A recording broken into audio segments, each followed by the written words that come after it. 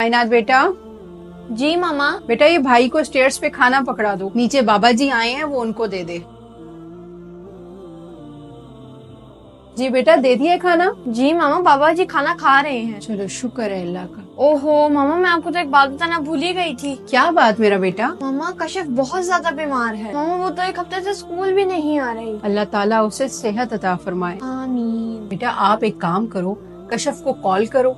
और उसको कहो कि आज शाम हम उसके घर आ रहे हैं। मामा हमने उसके घर क्या करने जाना है? इनशाला वो एक दो दिनों में स्कूल आ जाएगी। बेटा वो बीमार है और उसकी अयादत करना हमारा फ़र्ज़ बनता है क्योंकि हमारे प्यारे नबी मोहम्मद सल्लल्लाहु अलैहि वसल्लम ने फरमाया है कि भूखे को खाना खिलाओ मरीज़ की अयादत करो और कैदी को छुड़ाओ। मामा इससे क्या फ़ायदा होगा? जब कोई मुसलमान अपने दूसरे भाई की तीमारदारी करता है तो गोया वो जन्नत के बागात में सैर कर रहा होता है और वहाँ के मेवे और फल खा रहा है। मामा तो फिर शाम को क्यों?